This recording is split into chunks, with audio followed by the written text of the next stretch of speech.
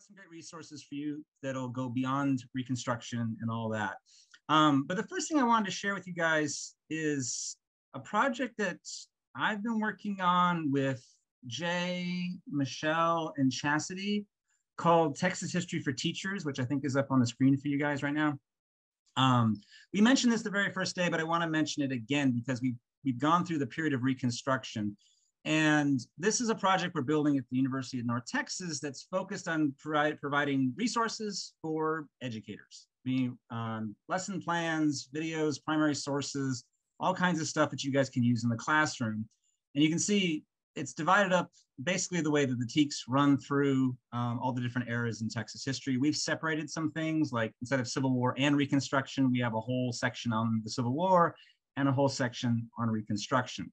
And I want to brag on Chassidy because she is the lead educator who developed the most of the almost all the primary or the uh, pedagogical materials we have in our reconstruction unit. So if you need more resources, more materials, more things than we've already given you, which there's a lot, but we're always looking for uh, new things, other things. There's a lot of wonderful things in here that have been developed by Chassidy. I can't recommend them highly enough. It's a, a series of lessons that all connect and build on each other and is mapped to the TEKS, like all the materials that we are building into the project right here. So I just want to emphasize that for you guys and point out that all the sections of the project, not just reconstruction, but all the sections of the project, one of the focuses that we've been building on this is, is building out voices, as we call them, which is, you know, bringing out resources for people who were there in Texas history, but there's not a lot of resources in the educational materials usually to tell their story, especially African Americans, Mexican Americans, and women in particular. So for almost every one of those groups in every section, you're going to be able to find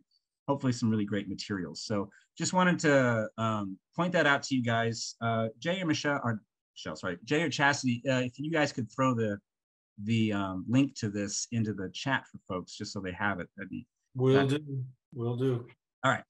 Um, now that that PSA is over, we're going to dive into what we're going to talk about today, which is the legacies of Reconstruction.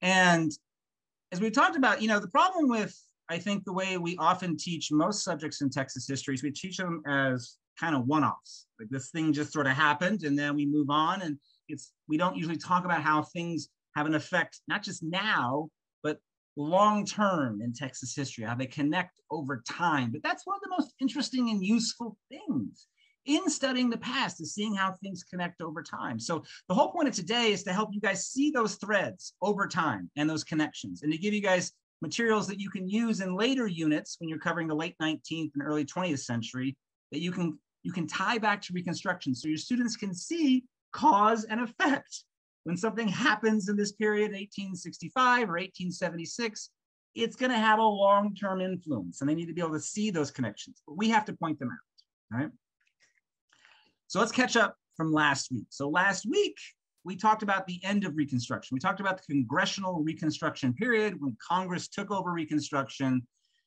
And then there's all these fights that happen in places like Texas about who's going to be running the show. The new Republican Party that came to Texas, or the former Confederates, who call themselves Redeemers as they reclaim Texas. And when we ended last time, as you guys will recall, is that despite the Republicans in Texas, including the former slaves, reasserting or asserting control and writing their own constitution and trying to empower African Americans in the state um, with their legal rights under the 14th and 15th Amendments to the Constitution.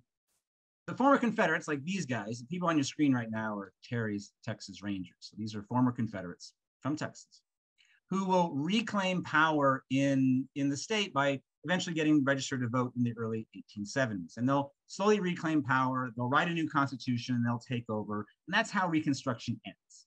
So we left off last is with the end of Reconstruction, the answer to our three major questions, right? What happens to the former Confederates, like these guys? Well, they they're pardoned and then they're readmitted and they regain pretty much full citizenship status, right? So they come back in over a long period of time, but they come back in essentially as full citizens. Second question, what happens to the states that seceded, like Texas? Well, they go through quite a process, right? They write a constitution, then it gets thrown out, and they get put under military rule. That's what this map is right here with Texas in the fifth military district, But then they write another constitution, and basically the states are allowed back in after they ratify the 13th Amendment, the 14th Amendment, and the 15th Amendment. All right. But then they come back in with full representation in Congress, and they're, they're as equal as any other state in the union. So Texas is just as much represented in Congress as Pennsylvania, right? And that wasn't a foregone conclusion, but it happens. And then the third question, of course, that Reconstruction answers is what happens to the former slaves? And this is complicated and important. I think that we, we break this down for our, our students, which is they're free. That's the 13th Amendment. They're citizens. That's the 14th Amendment. And for African American males, they have the right to vote, in theory. So on paper, they're citizens, full citizens. But in reality, on the ground, in the lived experience, they're not going to be treated as citizens. And that's where we ended Reconstruction with that Redeemer Constitution that stripped power out of the state, um, state government in Austin, Texas, and put power really at the local level, which made it much harder to enforce the rights of African Americans via the 14th and 15th Amendments to the Constitution. All right.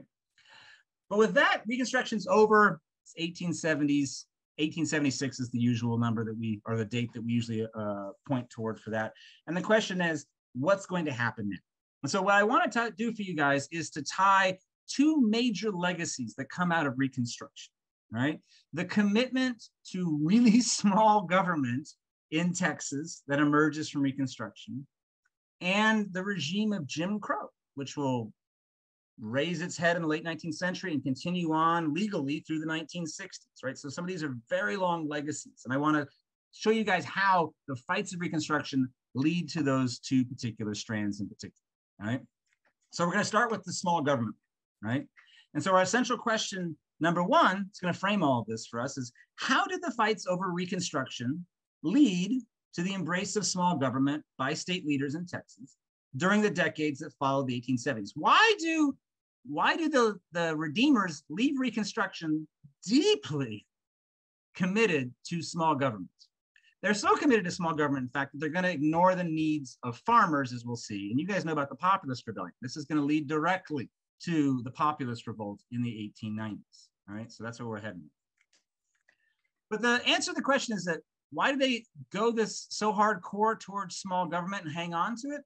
Because for the Redeemers, the ex Confederates, at the end of Reconstruction, the lesson they learned, they think, is that the Republicans were causing mayhem because they were using government too much. They were using it to empower African Americans. They were using it to um, to create a school system that cost a lot of money. They were using it to jack up taxes that paid for that, that public education system. And so for the Redeemers, someone like this guy, you guys remember this guy, Richard Coke? All right. He is the first Redeemer governor elected in Texas in 1873. Their goal is to take back, redeem the government, and then make sure that never happens again. And the way that they do that is that they strip out all the power in the state government. They don't, they're not even states' rights people. They don't even want the state to have power. They want counties, local jurisdictions to have power because they know the local county sheriff and wherever is going to do what the local county sheriff needs to do. Um, but if they strip power out of the state government, they can make sure that it's not used against them, it's Confederates. It won't be used to empower their former slaves. And so they strip power basically as down as small as it can. We talked about right? We talked about how the Redeemer Constitution basically says you really can't do anything now. You can't even pay for public education in the state. It's literally forbidden in this constitution, right? Which is astounding. All right. So that's the lesson. And that's the lesson they're going to run with, right? They're going to run as far as they can because these ex Confederates become the governors of Texas for the next many governorships, right? So the guy in the middle right here, that's Richard Coke he is succeeded by, you know, here's a bunch of these guys. These are all redeemer governors, as I call them, right? So anyone who went to Texas A&M or knows about it, that's Sul Ross up there on the left this goatee. The guy in the bottom left, that's a guy named John Ireland that virtually no one's ever heard of. Um, you guys remember the guy on the right here, right? Evil Santa Claus. This is Oran Roberts, the guy who was the chair of the secession convention. He becomes governor after Reconstruction's over. And He's a redeemer, baby. He believes again in stripping out power because he wants to, as he described it earlier, make sure African Americans have no rights whatsoever. But he also wants to keep government small because he doesn't want it to be used against him or his fellow ex-Confederates or anything like that, right? So they strip it down to its absolute core. And you can see this lots of different ways. Um, one of the best examples of this is the convict lease system um, that emerges in Texas. It's not just in Texas, I want to point that out, is across the South. Almost all ex Confederate states do something similar. But what Texas does in the aftermath of the Civil War is they, they look around and go, hmm, how can we not pay for things? Well, one thing we could do is we could turn over the, the penitentiary system to private enterprise. And so from 1871 to 1883, the state turned over its jail and penitentiary system to private industry. They just leased it out. They just they they they turned over the keys.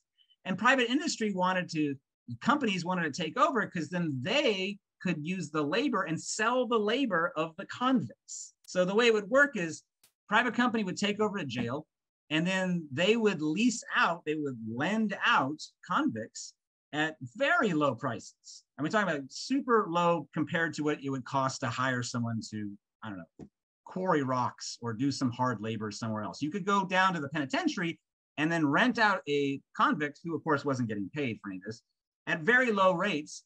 And then you could work them virtually to death.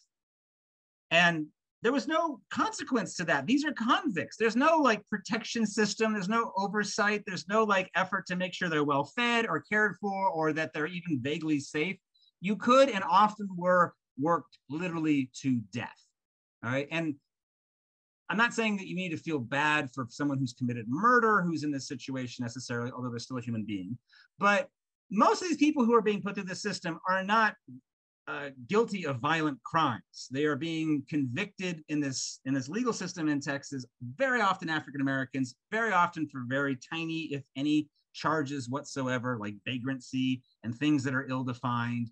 And so you have this massive system that takes these people and then puts them to work and profits off of them. Some historians have called this slavery by another name.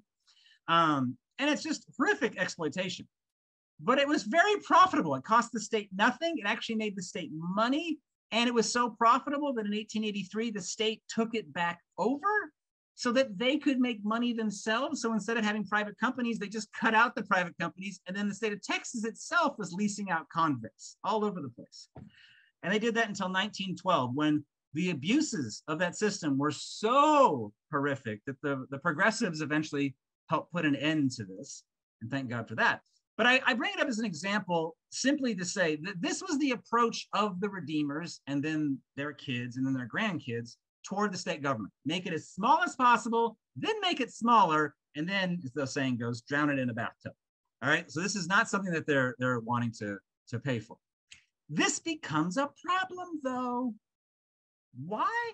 because there are actual problems that face farmers in Texas during this time period that they cannot deal with or fix themselves.